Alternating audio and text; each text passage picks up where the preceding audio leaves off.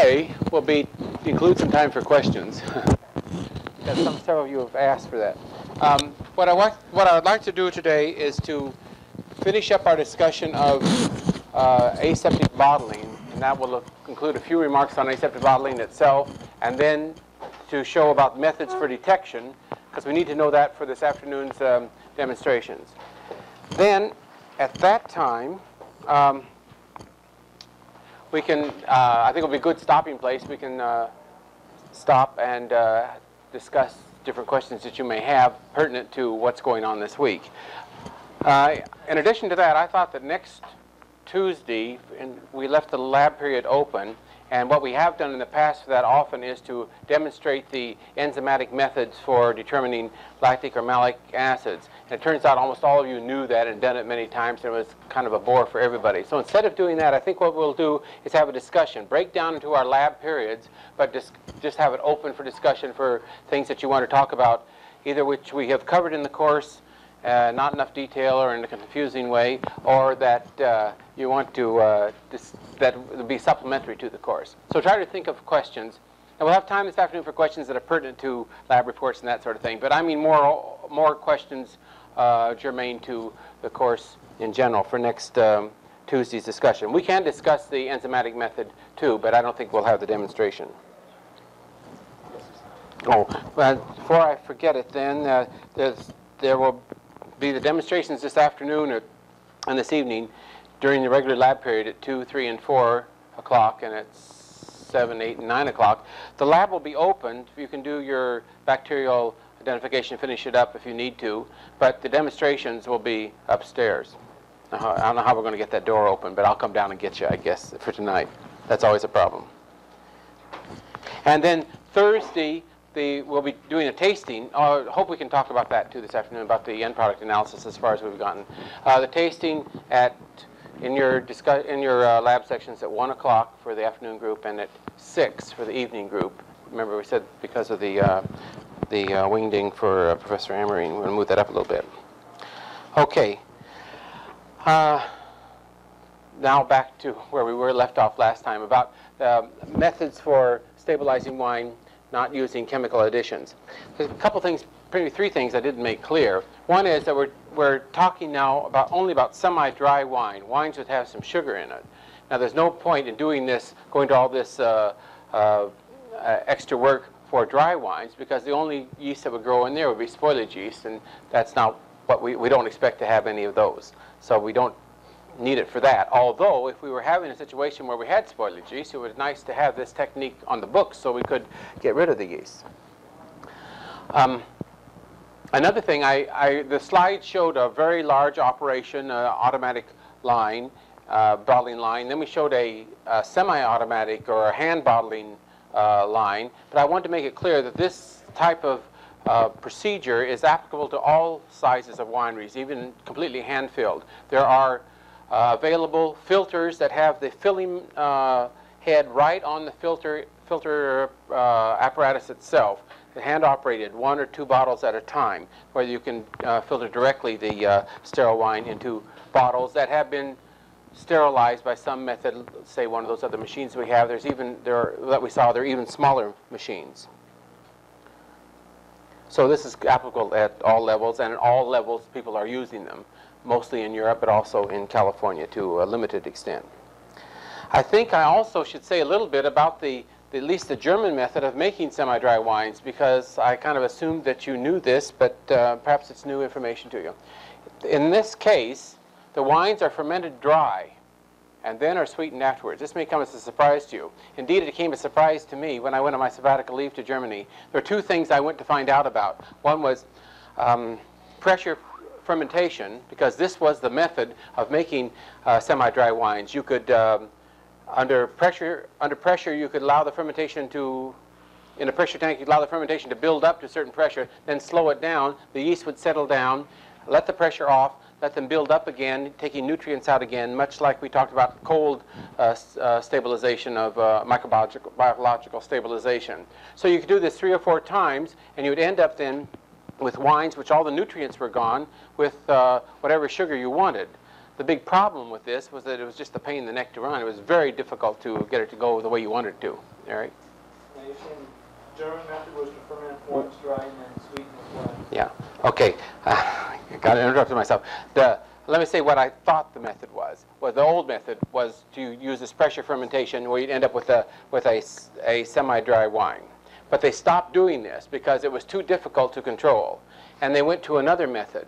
They went to a method of fermenting to dryness and then sweetening, sweetening with what they call the sweet reserve, which is grape juice itself, not usually concentrate, usually grape juice, which is kept from fermenting by several means, often by, by uh, pressure itself, or by just uh, a good uh, tight filtration, more or less sterile conditions, and kept in the cold, maybe with extra SO2 added. By law, the German wines have to be have to be fermented to a certain the grape juice, the sweet reserve has to be fermented to a certain amount, practically the amount that will make enough pressure to inhibit fermentation, so that they have two or three percent alcohol plus the plus the pressure, CO2 pressure, makes them pretty stable. I'm not sure, in fact, if all people are doing this. I don't know what the, the law. There's new laws, and the new laws have been changed again, and how much they're being enforced on some of these things, I'm not sure. You do know that the sweet reserve has to be the same, according to the law, the same grape juice that the wine was fermented from. So what happens is be, just before bottling, say a month, a week before bottling, sweet reserve is added to the dry wine to the level that they think is pleasant. That'll give you a good balance, hopefully, between sugar and um, acid. Now this wine is unstable because you've added sugar, you've added grape sugar, you've added grape juice. So then you have to do something, and what they, what we're talking about now is filtration to get rid of the yeast. Now this, course, isn't true with the Sauternes type wines or the uh, Trockenbeeren Auslesen or the Beeren Auslesen, where these wines have been have fermented as far as they can go because of the high sugar to begin with. They are naturally sweet, and you you don't have to worry about yeast in these wines. Deli wines? Pardon me? Deli wines. No, I mean, no. Um, I mean, just higher alcohol, high enough alcohol that's prevented, prevents further fermentation. Deli wines would be ones that could have, that- well, they could be anything, but to be ones that would have low amounts of alcohol, so much, so low that you would think that they would ferment, but the sugar is high enough so they wouldn't ferment. No, these, uh, these, these uh, specially picked German wines and Sauternes aren't that high in sugar usually. So they, they wouldn't want that like a high tolerance or high ethanol producing yeast for Trockenbeeren. Uh, probably not. Yeah, they probably want uh, they want to use use a normal yeast, but in, in, in again in all these cases, or in almost all these cases, they're using a spontaneous fermentation. They're not really worrying about what the yeast is. So it made it clear that um, how these wines are made. And what was the other point? Oh, I know what it was. Yes. Uh-huh. How does it affect the uh, quality of wine with grape acid? They- Whether can they add, Oh, they have to add from their own from that same juice supposedly. they add from the same juice actually? If it's an Auslese, they have to add, the sweet reserve has to be an Auslese. Now, the Qualitätswein mit, yeah, that's right, that's right. But in general, in generally, these wines are sweet. Well, the Auslese could have sugar addition, but generally they're sweet that they don't need any, like the Beeren Auslese and the Trockenbeeren Auslese. You don't need any uh, sugar addition. But it is true for the others, Kabinett wine? Kabinett and Auslese and, and Spätlese. They have to be from the juice it's a law now. I'm not saying how much that's enforced, but uh, I think people try. Okay. Then, of course, when you've added the sweet reserve back to the wine, you're developing an instability, not only a microbiological instability, but a question of tartrate stability and protein stability. That's why this, what they call this marrying process. You don't do it just before filtration, before uh, bottling, and you have to watch the wines pretty carefully for that time to make sure they don't start fermenting in the holding tank. Well, any questions in general on, uh, on the cold sterile bottling, except for the detection system, which we're going to talk about now? Go ahead, John. Oh, I was gonna ask, uh, has anybody investigated why the Sauternes wines are, are stable? Oh, that's the, their, their limit of alcohol. There's so much sugar to begin with. Yet That there's not enough deli to. No, but if it's over 14% alcohol, wines, I mean, that's usually about the limit of alcoholic fermentation, whatever the sugar is, right? Uh, Yeah. They also think that the botrytis produces a uh, toxin that is dangerous to use. There is, that is true, that uh, there is an, at least an anti, there's an enzyme inhibitor produced by, by botrytis. It's work done at, um, at Western Regional. I hope we'll have a chance to talk about that. Didn't they originally think that botrytis uh, developed an antibiotic to uh, botryticin or something? Yeah. Yeah, Botrytis- but, But but, didn't- yeah, but there is a, there is an enzyme inhibitor in it, that, uh, an anti-browning, anti-browning factor. Okay, Let's get your comment on filtration and quality. or, which is better? I mean, everyone's saying it really wiped out the, the aroma and everything so much. Uh, I don't know that there's any da- good data to indicate that. It needs to be done. It really needs to be done. I, I'm sure there's, uh, people can tell the difference between just a very uh, normal filtration and no filtration at all. But when you get down to these levels where you're talking about uh, EK filtration or, uh, or less than that, uh, 0.8 uh, microns, I don't think there's, there's no data. There isn't any data, I know that. Yeah. You guys talk about champagne now or later? later. Okay? Right. Let's go on to the detection methods that you can use. See, you, you've got this very, um, um, what's the word, uh, uh, frightening situation in a way. You're, you've filtered the wine and you're running it through sterile, hopefully sterile equipment into sterile bottles using sterile corks and sterile methods.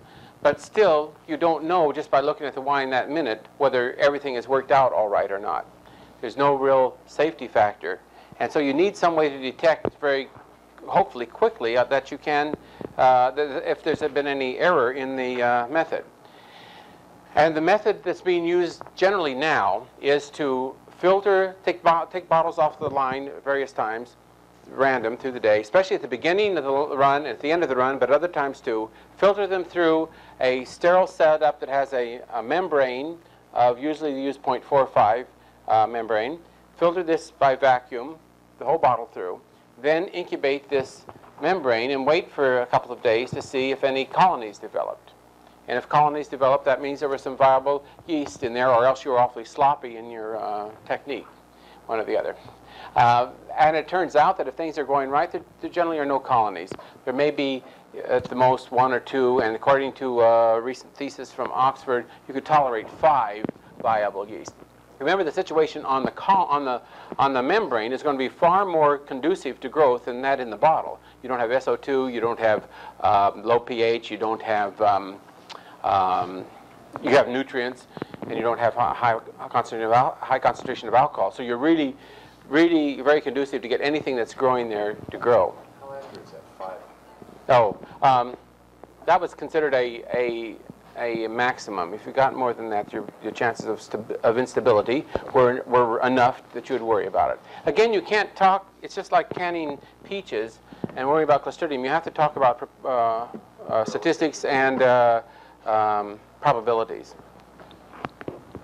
Okay, the other method, and one we're going to, we'll see both of these this afternoon. The other method is to, instead of waiting for the colonies to grow, is to try to look at the, look at individual cells right away. In this case, you filter through your bottle the same way, and you're going to put the membrane then under the microscope and scan it for any colony, or for any cells, I should say. Now, this is going to be difficult if you're going to have a 47 millimeter mem- diameter membrane. That's going to take you most of the afternoon and part of the next day to scan that whole thing. Of course, there were lots of yeast on there. You wouldn't have to scan very much. You could scan one, one square, perhaps, on a gridded membrane. But if there weren't very many, as you hope there wouldn't be, if you're looking for less than five, it means you've got to scan this whole thing and it'd be very tedious. So Millipore came out with a method that makes this much easier by taking a 13 millimeter membrane instead of a 47 millimeter membrane. That's the diameter I'm talking about. So this now can be scanned much, much uh, more quickly. It's much smaller in diameter. Now their method then was to take the, the membrane with the yeast or without the yeast on it and set it on a pad of Ponceau S stain. Let me write that down. I was looking up, I wasn't looking for the spelling, I was looking for the am- amount, but it's nice to know the spelling too. It's, the, the stain was 0.9 grams Ponceau S, 13.4 grams trichloroacetic acid,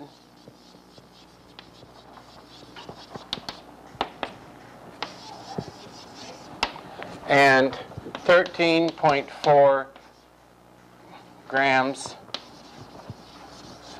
sulfosalicylic acid. This is in, uh, way it's made up, they made it up in 100 grams of water. Now, if you put this membrane then on, on a pad soaked with this, protein stains very, very brilliant red. This is a histological stain, is where they got the idea. Now, you can take the membrane then and place it again on a dilute solution of acetic acid. You can, so to speak, wash away the, the red color that doesn't stain. And you end up with a brilliant white background of the, of the uh, membrane with the brilliantly red stained cells, yeast cells on top. Now you put this under the microscope, and instead of using, incident, using light from underneath because it's opaque, you bring in light from the side. Now there are ways of clearing uh, millipore mem- or membranes, or the Nuclepore has a, has a kit and a procedure where you use light from underneath. The nuclear more, nuclear pore membrane can be rendered transparent, and so can the uh, millipore membrane be rendered transparent. But in this case, we don't do it that way. The incident light comes in from the side. Now, the problem here, you want, you want to have enough magnification so that you can see the cells, and you want to have um, low enough magnification so you have a large uh, field, so you don't have to scan so much. And they've come up with a compromise. You need about 400 power magnification to resolve yeast cells. So instead of ordinarily you'd use a 10 power objective and a 40 a 10 power eyepiece and a 40 power objective. But if you do that, then you this is very close, the objective to the to the uh, specimen, and you can't get any light in there. So another four people came up with the idea of using a 20 power um, objective and a 20 power eyepiece. That gives you 400. Now you have more space here, and the light can come in here and shine on that, that red glob of, uh, of yeast there. Now you don't get the same resolution as you would with the four, you get the same magnification, but not the same resolution as you would with the 10 and the 40. But you don't need that. You're looking for these characteristic shaped yeast, and they're kind of a red glob on the white background with a little bit of a shadow. Yeah. How do you do this uh, washing with the acetic acid? You just draw it through the, No, you set it on another pad. We'll do it. I'll show you this afternoon how it's done. Yeah. We'll see these. Um, the only problem is this this this uh, stain the stain is for dead and live cells. So you're staining total yeast. You're not just staining viable yeast. And you can have a lot of dead yeast in there, especially if this is the beginning of a run of a of a, a bottling run that has been, the, all the equipment has been sterilized, you still, the first half hour, you can get a lot of yeast into the bottles. They're dead yeast, but they're still yeast, and they would show up on this. So you needed a method for uh, detecting viable yeast. Anybody have an idea, or does anybody know how millipore solved the problem? How they, their selection, their idea was? Meth- methylene blue. No, no, that's, that's ours. how did, how did millipore come up with an idea to handle this? Ingenious, but it doesn't work. oh, the fluorescent stain. Remind me to mention that afterwards. Um, no, what they said was, let's incubate this before we stain it for a few hours, and if the cells divide uh, to twice or three times, we'll have a mini colony. And now we can look and we can see if it's, if it's more than one cell, then it was a viable cell. That seems pretty nice, doesn't it? You have to do this after, you have to stain after you let it grow for a while. The only trouble is, and I think we can answer this, although not as, we didn't demonstrate it as dramatically as we have in, in classes in the past sometimes, because it's kind of hard to show exactly. The problem, do you have any idea what the lag period is for this, from yeast coming out of wine? It's a long time. It's not two or three hours as if you took a yeast right out of a growing culture and transferred it into a nice medium. When you're taking yeast out of wine in, an, in a uh, static, uh, um, dormant situation and putting them on, on this, it'll be about 24 hours before you get the first division. So you're really not much better off. And you have to worry about contamination during this time, too, of bacteria, which grow much, much faster, which might get on there. So you're, you still have all your wine in your warehouse labeled and bottled, uh, corked, with its capsule on it and in its, uh, in its uh, cardboard containers before you get to know the answer. So this one day isn't that much of an improvement over the three days. It means you don't store the wine in the, in the uh, warehouse that long, but it still means you have to, you have to uncork the wine if there's something wrong. So we came up with the idea, uh, another genius in the house, of using uh, methylene blue. And this is, methylene blue has been used for this long, long time ago, and we used it in the lab too, didn't we? But it's not real exact, but it seems to work pretty good for this procedure. And what we do in this case then is put the, um, run the sample through the filter holder with a small membrane, and then add methylene blue, let that um, sit there for about half a minute, and let, let it come through then, put the vacuum on, let it come through. Don't wash, if you wash, you wash the methylene blue away. So then you take this membrane then and put it on the slide and look at it under the microscope the same way as this and count the dead yeast, right? You can't see the live yeast on there. They'll, they'll, if you, if you know what you're looking for, you can, but it's not easy to count. So you count the dead yeast, and then take the membrane off and run it through the methylene, the Ponceau S stain, and put it back here and count the total. And subtract the total, the, dead, the, the blue ones from the red ones, and you have the living ones. Now you can see the, some pitfalls in this. As I said, if they're if this was at the beginning of the run and it was kind of a dirty operation, you would have lots of yeast in there that would be dead. And you'd be counting lots of dead yeast and lots of total yeast and trying to subtract these two numbers. So it's not applicable in that case. But generally speaking, once your run is going, everything is clean, you could just do the Ponceau S stain and, and see that there would be no yeast. And that would be easy enough. Then finally, if sometime something came along, you found that there was 30 or 40 Ponceau S yeast, red yeast, then you'd want to use the methylene blue. Start over again, do the methylene blue and see if, it, if these are mostly dead or mostly live. But again, if something's wrong, it's going to be really wrong. You're going to have lots and lots of live yeast there. So this, once you've gotten the hang of this, will be a good safety factor. You could just check um, every uh, half hour or it takes about half hour to do the whole thing to see that everything is going right. Although you would have to be a little bit careful about the beginning of the fermentation, uh, pardon me, the beginning of the bottling, and if your corks are really bad, you had cheap corks, if you're getting a lot of cork dust, they'll get on the they'll get on the mem membrane and make it hard for you to count yeast. Yes. Yeah.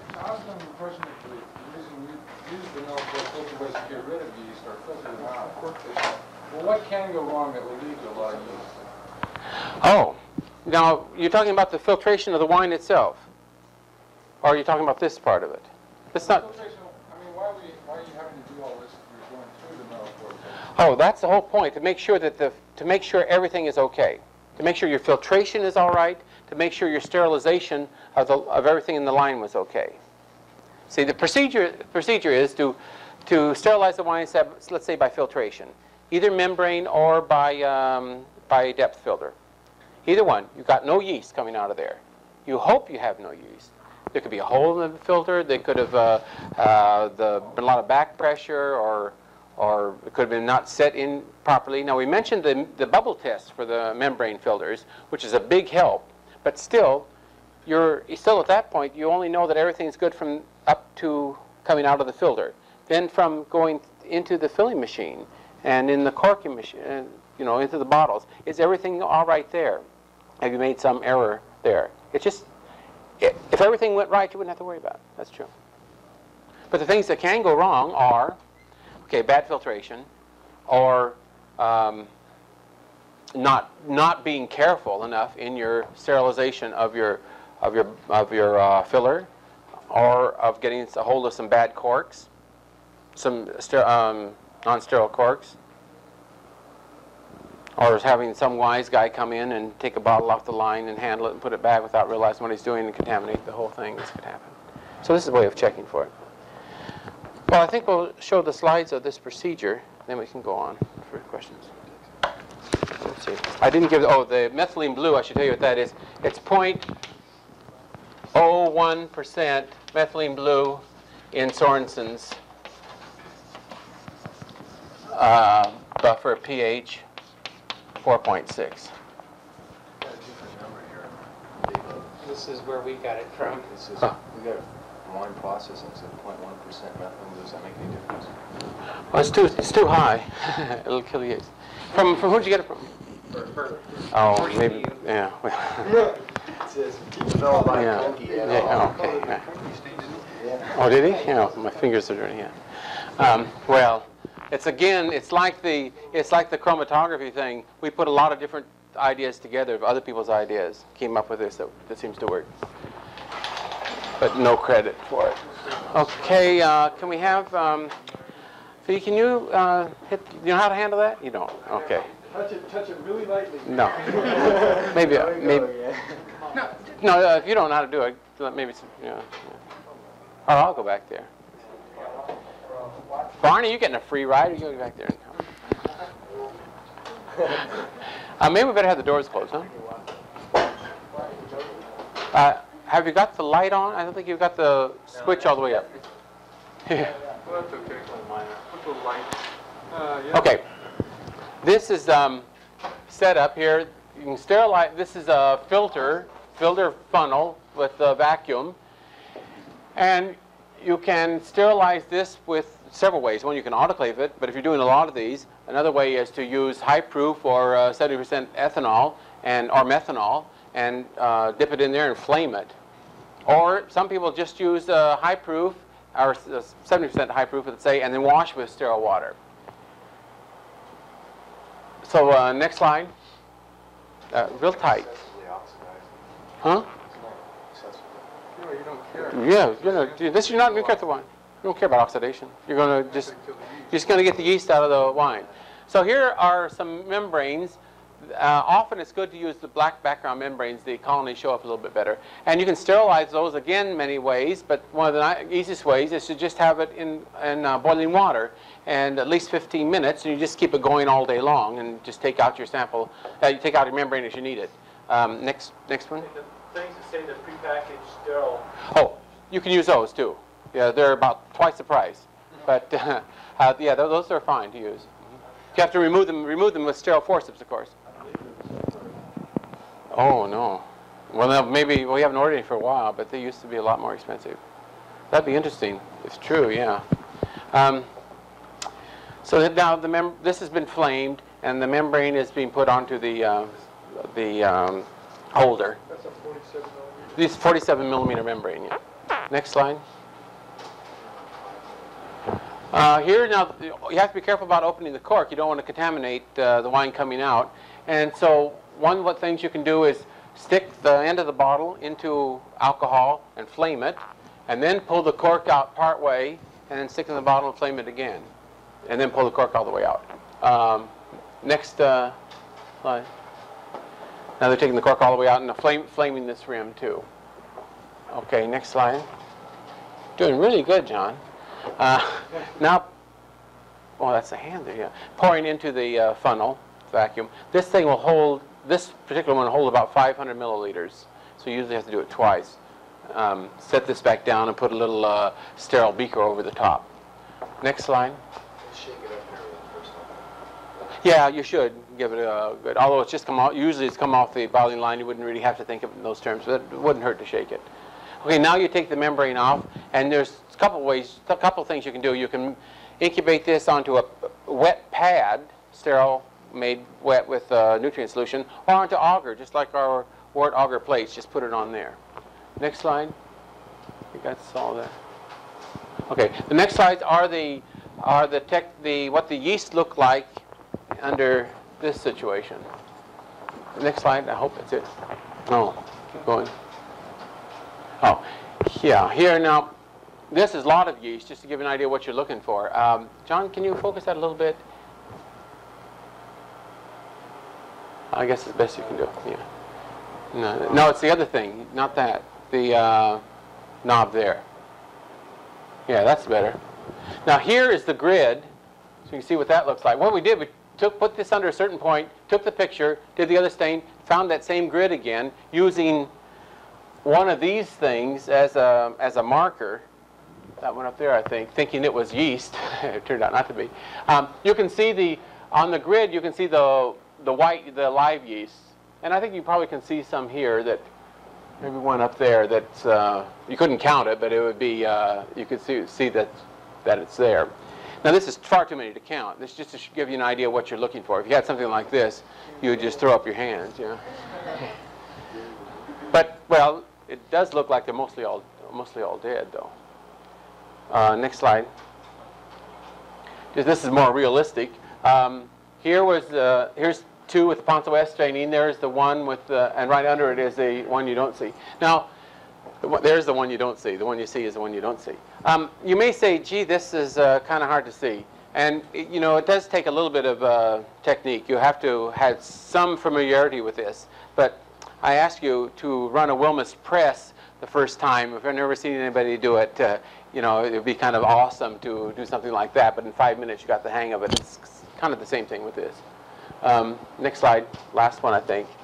Oh, show you that some cases where you have really dirty wine, this is, I think I was going to tell you this funny about the, the, the winery across the street from where we were doing this. We went over to get some of these, get some bottles because we wanted to try this. And so he says, well, what are you doing this for? And he says, well, we want to find out a way that you can see if the wine has been sterilely bottled without having to wait three days, a way that you can find out immediately instead of waiting three days. He says, oh, our wine is all drunk in three days. And I believe it. It really was, uh, they weren't terribly careful. It was sterile, but it was dirty. The corks, this is a lot of cork material, and unfortunately it stains blue. So you get a lot of blue stuff, whereas the red is pretty specific for, for uh, well, it's specific for a protein, so you don't have too much interference with the red one. And as I say, I think your standard technique would be to use the red method, and then if something was going wrong, you ha happen to get a large amount number, then you'd want to do it again with the methylene blue.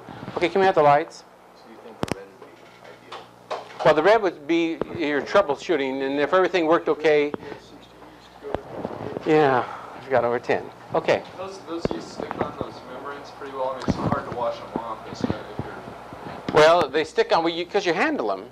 The question is, do, do the yeast stick onto the membranes? Because you take it out of the, take it out of the uh, filter holder and put it on the, the thing, and usually cover it, then take it over to the microscope. I should say that with the Ponceau S one, you, you put it on the slide and you heat it to make the membrane flatten out and also to get rid of the, some of the acetic acid that's there.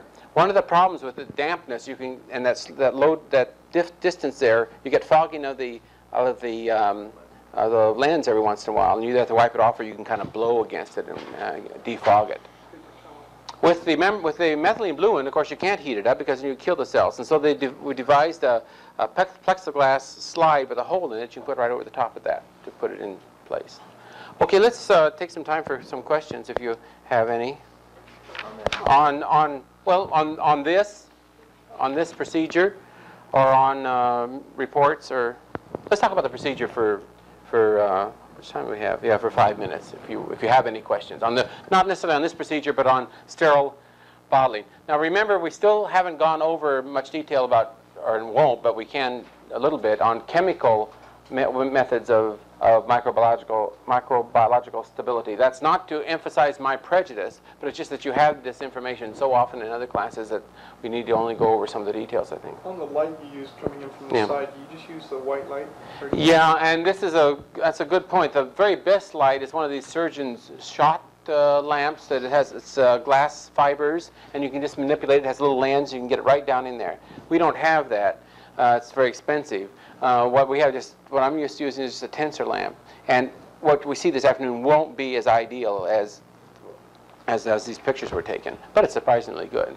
There's another microscope lamps that are available from microscope companies that aren't too expensive, that work a little bit better than a tensor lamp. With a dissecting scope or something? Yeah, and you can kind of adjust where the uh, light goes. That, speaking of dissecting, so if any of you have done dissecting, I think that's a good example of how you can get a skill within a half an hour. When you first do some dissecting, that forceps looks like a, like one of those big grids that they have that they're uh, what do you call it? Uh, when you're building a, a building, girders, yeah. You think, gosh, how can I move that around? And very shortly, you find that you've developed a good skill for that.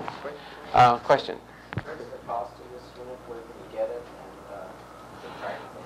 Uh? Um, the, the most expensive thing, I think, is the filter holder, a filter holder that'll hold a 13 millimeter membrane. And Seitz makes one, 500 milliliters, and I think it's, uh, it's over $100. Um, and Latchford uh, packaging, I'm not making a pitch for anything, but they're, they're, they would be handling uh, Seitz. No, Millipore doesn't, Millipore, the closest Millipore has is a silting index uh, deal, which is about this long and this big around, uh, with a 13 millimeter thing at the end, but that's about $400. Um, how much, you have to apply a lot of vacuum, I imagine that. No, no, much? just, just house vacuum is fine, yeah. Oh, you know, we use we used a water aspirator, works fine. Uh, to finish the question, uh, you need some adapters for your microscope. You need the, uh, the 20 P, 20 power eyepiece and 20 power oculars, but they're not very expensive. These are real cheap things, you know. Yes, very, Okay, now suppose you filter and you find these yeast cells there. yeah. What do you do? Oh, haha, you stopped the line. That's a good point. What if, what if something has gone wrong? Well, then you just have to troubleshoot, and you, you're going to have to um, stop the, stop the line, and you're going to have to take samples. You'll be the microbiologist. Take, you have equipment ready for that. Take samples everywhere along the line to see where the contamination could be coming from. If there's something wrong with the filter, if there was bad sterilization of the of the bottle filler, if the sterili- bottle sterilizing wasn't working right, or if you weren't bothering to sterilize the bottles, that'd be probably the first place to look. Um, or if there's something wrong with the corks. Would you want to check in front of that too, to make sure something you might have missed? I mean, maybe, okay, well, say your test shows all of a sudden, an hour into your job, Yeah. you see, all right, all of a sudden all these yeast cells, Yeah. well, right, take a few, stop, check the samples that already went out, or the first few that were bought. Oh, sure. yeah, yeah, yeah. You don't want to cry wolf, wolf. That's right. I mean, if you made the mistake, you mean? No. Oh. I mean, say you, you identify that there are 50 yeast Yeah. per bottle, okay, you're gonna say, stop it from now on. Yeah. What about what's already gone through? Would you wanna go back and run a few samples on what's gone through to make sure they were stable or? can you- Well, I think you'd figure those will have to be unbottled. Yeah. But you might as well Yeah, test them. yeah just a few of them, If yeah. their membrane broke or something. Yeah. They're all going to be bad, yeah. Not all of them, that's true. Somewhere along the line, they're gonna be good. Yes. Yeah, I, I think it's a good point, though, what, what you're gonna do in Yeah. a situation like that. It seems to me that on a like you either wanna re-sterilize everything, empty the filler out, re-sterilize everything, rather than go through and check and try and pinpoint where it's coming from. Yeah, I, I think that's true too, uh, that it, why not just start over? And uh, re-sterilize everything. 'Cause- The other thing is that. But you could do both. You could check, excuse me, you could, you're not going to know the answer to this, to this uh, troubleshooting right away. It's going to take three days. But you can go through and make, make this, uh, make these trials, which only take five minutes, then, then re-sterilize everything. You know, um, the thing is, I just don't know any place, anytime this happens though. I mean, you can get, this isn't, a, this isn't a thing that you would expect to happen. I mean, something could happen to the filter. You get a big blow there. But, and that's, that's the first place you'd look, I think. It seems to me like, as far as California, uh, my feeling is that so far, nobody that I've heard of has invested the money to go completely sterile. Uh, There are several wineries doing it with great, with huge success. One, uh, one of them is one of the, well, I don't think it's uh, any secrets which ones they are, but uh, it's medium sized and medium large and small. Last count, there's seven, I know, that have been doing it now for quite a while, successfully, without really going to all the, going to all of the uh, precautions that I've mentioned. That's what I mean. Oh, I see. And they're still doing it correctly. Yeah. Huh? No, I mean that they might they might not be using uh, uh, they might be using uh, sterilizing their own corks or uh, something like that, or not not investing in a brand new uh, bottling machine. Any other questions? We can start talking about some other What's things. an effective way of sterilizing cork without destroying the inside of it? Well, I mentioned that last time with the SO2 and the and the parafilm. Yeah, paraffin. Yeah. Um, uh, What would you consider a a reliable sample, percentage-wise, uh, when you're taking sampling? Um, Yeah, uh, for- statistically, I don't know, but what they do do, do do, is a, with this other procedure, is about every half hour take, take one. No, that's not true. I know places they only take, they've got it down so they take about three at the beginning and three at the end. And then may not even do those that day. They might do them in, in a day or two later and do them all at once. Mhm. Yeah. Yeah. What does commercial equipment look like? Is it like the slides? Commercial, uh, for the what? Oh, yeah, you see him on Tuesday? hmm What about uh, filtering rate, is it slow? Well, We, maybe we should get into, talk about filtering a little bit. Yeah, that depends on the uh, pore size and, and how clean the wine is to begin with. And this is a, this is a problem, um, a lot of people would want to go to 0.45 micron filtration to get rid of bacteria. They're making these nouveau, the uh, Beaujolais type wines to prevent malolactic fermentation. And it- the, generally speaking, the flow rate is, the, the silting is so bad that it, uh, I'd always thought that at least, was, that it was so impractical that they have to change the filters all the time. But in fact, some people are doing it. Now, there again, I don't know what the taste, uh, da- tasting data indicates between uh, 1.1 and 0.45. If any of you have any answers to some of this, then no. One- Well, there's three, three main ones. Perhaps we should have a lecture on filtration. hmm? Uh, 1.2, I should say, will get out yeast. 0.45 will get out everything except maybe some phage, bacteria too. But 0.65 will get out most, will get out all yeast, of course, is smaller than this, will get out most bacteria. Because even though bacteria are smaller than that, they're generally in, uh, or the, the diameter is smaller, they're generally in chains. So, and any filtration is going to get rid of most things, you know, even if the whole, uh, whole size is larger. So a lot of people are hoping to get rid of 99.99% of the bacteria this way and hope what gets through is um, not viable enough or not vital enough in wine to carry out, uh, to grow enough to cause a malolactic fermentation. Oh, most people, for, for, for yeast. Yeah, almost everybody is. It's very, very few people are using this, but some people are using these now. Is there a difference?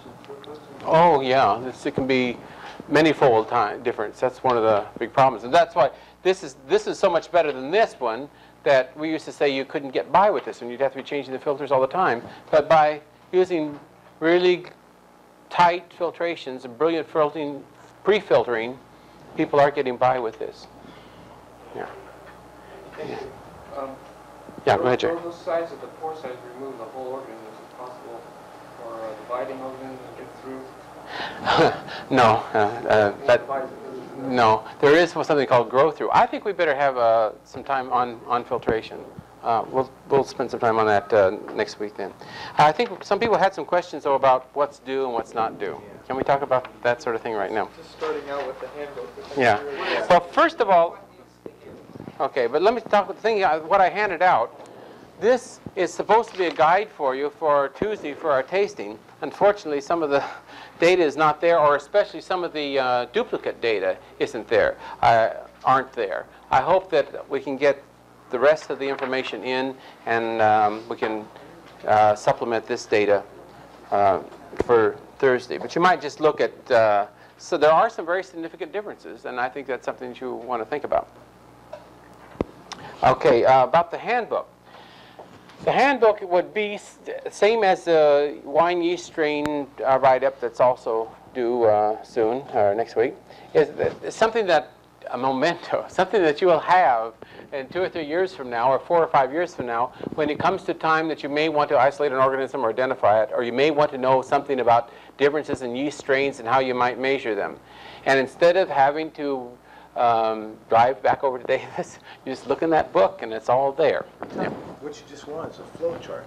Well, it can be, it can be the, at minimum, the information, the handouts, et cetera, plus, an, plus, a, plus a table of contacts, contents, or an index would be enough. And maybe, uh, including your own write-ups of, uh, uh, that might have gone a little more detail. But if you want to, you can make this a real big thing. As a matter of fact, this could be your extra project by expanding it and making it more personal and more, more informative. Is it for just yeast? No, bacteria, yeast and So- bacteria. And when you say handouts, do you mean the labs? Yeah, well, anything on those. So that's a lot of our, our, all of our labs basically, right? Yeah, So we're gonna put all, we're gonna bind all this, we're gonna give it to you. yeah. How are we gonna study for the finals? Oh, well, you'll have a back for that. gonna give it back Yeah, oh, yeah, Monday or something? yeah, yeah. Tuesday, anyway, yeah. So you want all the labs, all the results, and pertinent stuff out of our labs? I want it, I would like it in a way that you think that it would be helpful to you. If you just throw the stuff in there in no order, that's not going to be very good, although you probably, you get, you'd, you get by on it, but, uh, no, listen, I want, I want, uh, to say this come from, this has come from experience that you may think, well, I'll never use it. But it, it happens, and many, not, not just a few, many people have really thought this was an important part of the course to have this later on. Hmm? Lecture, this stuff about isolating the. Yeah, uh, well, the, the lab and the lecture handouts uh, both have information. Do you understand? You don't understand? See, in other words, you, well, you, you want to be able to, uh, be able to make up the media, for example. So if you don't have that in there, that's not going to be helpful. You're going to, That's all. And the various yeah, types of yeah, media and stuff. right, yeah. And what to use media for? I'm just worried about how much out of lecture you want, that's all. I know, no, you don't want much. You know, we could find, the- we could find just the. I meant, uh, not, there are lecture handouts that had some information on it too. of information besides the handouts. Yeah. SL Media you mentioned?